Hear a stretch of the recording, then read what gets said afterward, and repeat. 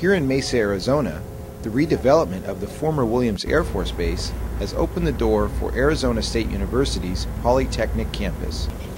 Today, more than 10,000 students pursue degrees at the campus, while the Air Force continues its environmental cleanup program below the surface.